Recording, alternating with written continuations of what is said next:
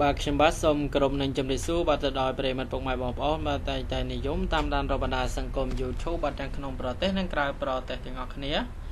បាទថ្ងៃនេះវិលជួបគ្នាជាមួយខ្ញុំបាទសាជាថ្មីម្ដងទៀតហើយ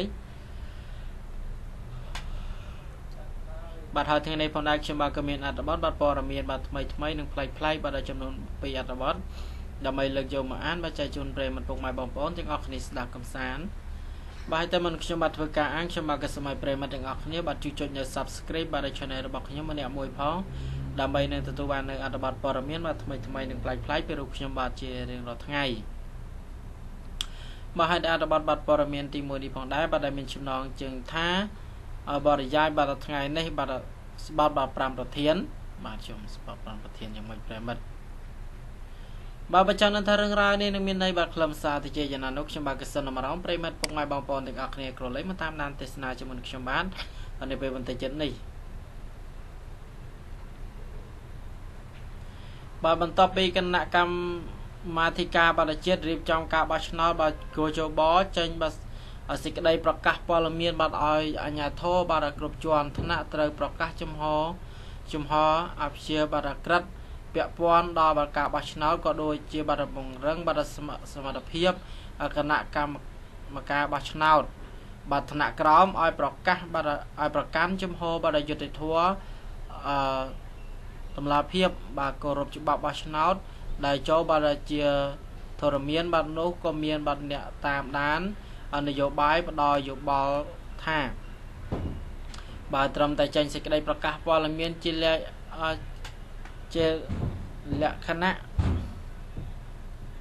លេលក្ខណៈបាត់អសរនោះมันអាចទប់បាត់ស្កាត់នឹងការបោះ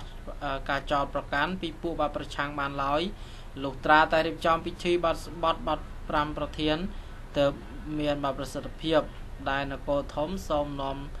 ពំនាំសំណូមពរអ្នកតាមដាននយោបាយបាត់ទាំងនោះមកបង្ហាញទុកបាទជាប្រធានបទបរិយាយថ្ងៃនេះអូប្រេមិត្ត ជឿជឿជឿអាពាក្យស្បត់ប្រិមត្តដែលលើកថាពាក្យស្បត់រហូតសម័យណា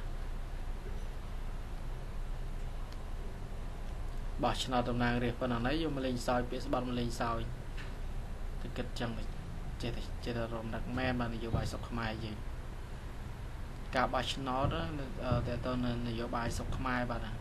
គឺខ្លាំងណាស់មិនយកមកលេងសើចដោយប្រាស់បានទេមកយកស្បត់ពាក្យស្បត់មួយម៉ាត់យើងនិយាយ បើនិយាយទៅយើងនិយាយថាម៉េចក៏អាចថាបានបាទសូមអធិស្ឋានប្រិមិត្តបាទយើងតាមច្បាប់រដ្ឋធម្មនុញ្ញបាទតំណាងរាបាទសមាជិកប្រសិទ្ធិបាទក្រុមប្រឹក្សាតែ អង្គចាក្រមបាទក្រុមប្រឹក្សាបាទអនុញ្ញាតសមាជិកបាទគណៈរដ្ឋមន្ត្រីមុននឹងចូលកាន់តំណែងត្រូវចូលទៅក្នុងបាទព្រះបរមរាជវាំងធ្វើបាទសច្ចាបាទប្រណិធាន ចំពោះព្រះភ័ស្ព្រះភ័ក្ត្របាទព្រះមហាក្សត្រនិងទេវតារក្សាព្រះមហាបាទ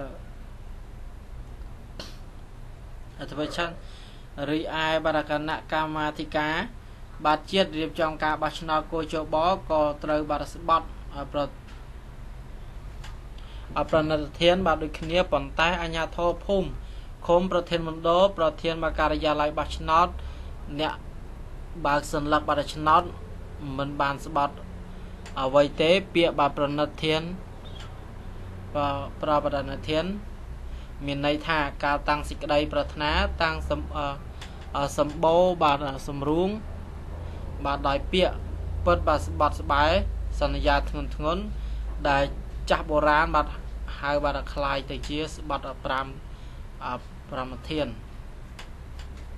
ដើម្បីឲ្យបាទស្រួលមាត់ បាទនៅមុខអាគារតុលាការ បាទគ្រប់កន្លែងបាទសុទ្ធតែមាន អាស្រមបាទអ្នកតាអ្នកដូនសម្រាប់ទុកឲ្យអ្នកកើតវិវាទបាទស្បាត់5ប្រធាន តាមជំនឿបាទបុរាណដែលបង្ហាញបាទពីអត្តសញ្ញាណជាតិខ្មែរបាទកន្លងមកបាទយើងឃើញបាទគោជបបាទ next អានេះបាទបានតាំងបាទសច្ចាប្រណិតប្រណិតធានប្រណិតធាន ថាបាទស្បាត់5ប្រធានរួចហើយបាទដោយតាំងសច្ចាប្រកាន់ជំហរបាទអភិជាក្រិតអត់លំអៀងបាទនៅឡើយបាទតែគួរចូលបថ្នាក់ខេត្តបាទ page និងបាទថ្នាក់ឃុំស៊ីស៊ីបាទ EC មិនបានបាទទៅស្បត់នោះទេបាទរីឯមន្ត្រីជាន់ខ្ពស់តំណាងពីតាំងពីសមាជិកប្រសិទ្ធិបាទរដ្ឋសភារដ្ឋ រាជរដ្ឋសភារាជរដ្ឋាភិបាលក៏បានចូលទៅ បាទផឹកទឹកអឺពិភពបាសច្ចាក្នុងព្រះបរមរាជវាំងសច្ចាថាមិនមិនមិនក្បត់ជាតិសាសនាព្រះមហាក្សត្របើស្ថាប័នខ្លះទៀតហ៊ានស្បត់ធ្ងន់ធ្ងរថាបើខ្លួនពុករលួយអកតេបាទជាដើមសូមឲ្យរន្ទះបាញ់ឡានបុកបាទពុះចឹកក្តី ដែលស្បត់ធ្ងន់ធ្ងរបែបនេះអាចធ្វើឲ្យប្រជាពលរដ្ឋបាទគ្រប់គ្រងករណីបាទអតីតតំណាងរាស្ត្របាទគណៈបកបាទជាតិ118នាក់ត្រូវបាទដកសិទ្ធធ្វើនយោបាយនោះអ្នកខ្លះថាបាទមកពីពួកគាត់បាទចាញ់សម្បត្តិខ្លះទៀតថាមកពីបាទអឺអបែងបាទផ្ដួលគ្នា បាទមិនមែនដោយសារបាទអទេអទេបាទតន កម្មបាទរបស់ទេវតារក្សាអឺស្វិតចៈបាទនោះទេ ការបោះឆ្នោតបាទជ្រើសរើសតំណាងរាស្ត្រអាណត្តិបាទទី6ចិត្តចូលមកដល់ហើយបាទទោះបីជាបាទកោជបបាទណាចេចេញសេចក្តីប្រកាសបាទព័ត៌មានឲ្យអាជ្ញាធរថ្នាក់ក្រោមបាទប្រកាន់ជំហរបាទអព្យាក្រឹតយ៉ាងណាក៏នៅតែមានបាទការចោទប្រកាន់ថាមេភូមិមេឃុំប្រធានបាទមណ្ឌលប្រធានការិយាល័យបោះឆ្នោត អ្នករាប់សន្លឹកឆ្នោតបាទលំអៀងទៅខាងបាទបកកាន់អំណាចมันអាចបាទ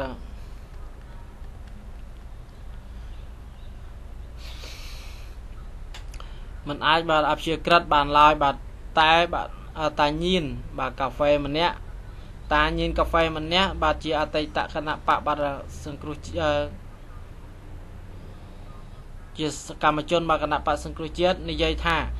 កន្លងមកមេបញ្ជាការកងទ័ពគ្រប់បាទអង្គភាពអាជ្ញាធរដែនដីគ្រប់ខេត្តបាទស្រុកសុទ្ធតែបានផ្ញើបាទចិត្តគ្រប់គ្រងបាទគណៈបកប្រជាជនកម្ពុជាបើអញ្ចឹងនោះអព្យាក្រឹតយ៉ាងមិនក៏យ៉ាងមិនកើតបើសំបីតែគណៈកម្មការរៀបចំការបោះឆ្នោតឃុំមណ្ឌលក៏មិនអាចជឿទុកចិត្តបានដែរតានោះបានបន្ថែមថាចង់ឲ្យគេជឿលុះត្រាតែមេភូមិមេឃុំ ប្រធានបារមណ្ឌលប្រធានមកការិយាល័យបោះឆ្នោតអ្នករាប់សន្លឹកឆ្នោតទៅស្បត់បាត់5ប្រធានហើយជាមុនសិនទៅគេជឿបាទក្តាប់បានពីពាក្យសម្ដីនេះនគរធំបានក៏ក៏មើលឃើញថាសំបីតែគណៈហ៊ុនគណៈបហ៊ុនសំពេចក៏មានគោបារកាមួយដាក់ថាបាទបើឈ្នះឆ្នោតនឹងបង្កើតគោចបឯករាជ្យ បានន័យថាហ៊ុនស៊ិមពេចមិនជឿលើមិនជឿជាក់បាទលើគោចបបច្ចុប្បន្ននោះទេបើគូប្រជែងបាទមិនជឿបែបនេះ ទៅហើយចុះតម្រាំពួកប្រឆាំងដែលដើរបាទតាមការអំពាវនាវរបស់លោកសំរងស៊ីតើនឹងមានបាទមហិច្ឆកាយ៉ាងណាទៅបាទលុះតាលុះបាទតាញៀនកាហ្វេថាលុះត្រាតែបាទស្បាប់5ប្រធានសិនទៅជឿនោះបាទគួរ គួរបាទយើងពិចារណាទៅ តាមនឹងដែរ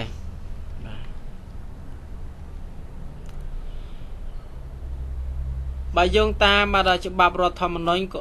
ដោយបាទច្បាប់បោះឆ្នោតគ្មានបាទឃើញមេត្រាណាមួយបាទ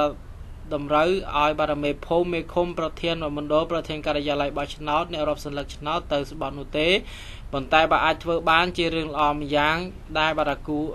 គូយល់ថាបាទប្រជាពលរដ្ឋ បាទខ្មែរខ្លាចអ្នកតាខ្លាខ្លាំងណាស់បើទីតាំងណាបាទមានអាស្រមអ្នកតាពួកគាត់មិនសូវ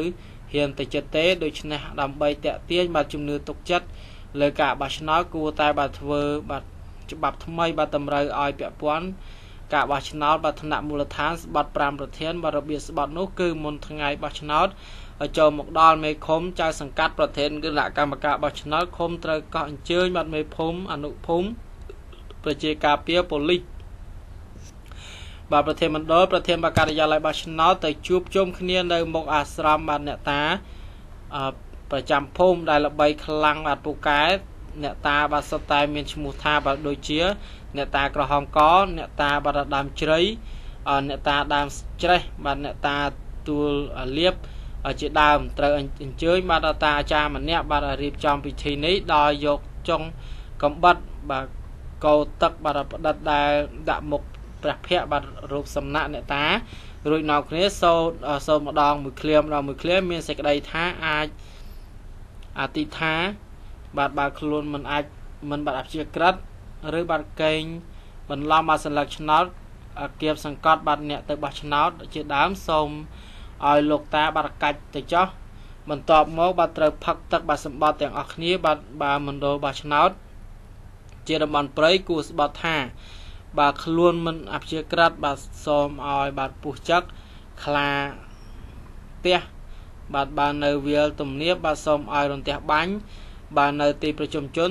ឬទីក្រុងបាទសូមឲ្យឡានបោកបាទជាដើមបើមានច្បាប់ថ្មីបាទតម្រូវឲ្យស្បត់5ប្រធានបែបនេះបានច្បាប់ជា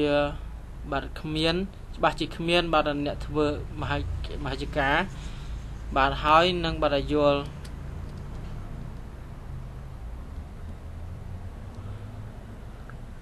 អព្រមទទួលបានលទ្ធផលនៃការបោះឆ្នោតដោយគ្មានបការតវ៉ាអ្វីឡើយបាទប្រិមបាទអត្ថបទព័ត៌មានទី1នេះគឺមានតែប៉ុណ្្នឹងទេបាទអញ្ចឹងទេយើងមកតាមដានបាននៅអត្ថបទព័ត៌មានបាត់ទី2វិញម្ដងដែលមានចំណងជើងថាបាទរដូវក្តៅបាទស្អស់បាទស្អាប់ពេកសិស្សប្រុសបាទត្រូវបានសាលាអនុញ្ញាតឲ្យស្លៀកសំពត់បាទបង្ហាញអសមយេដឺ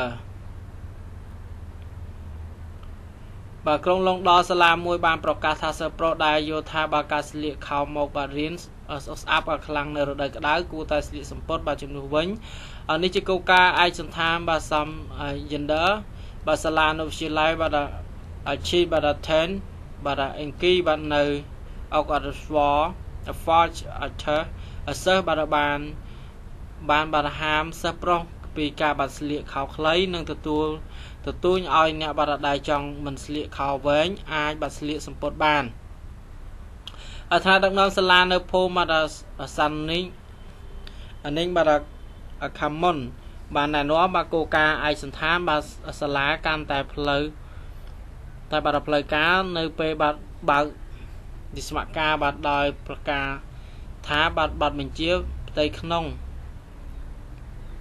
បាទអនុញ្ញាតឲ្យបាទតែសិស្សស្លៀកបាទខោវែងនិងសម្ពត់ប៉ុណ្ណោះ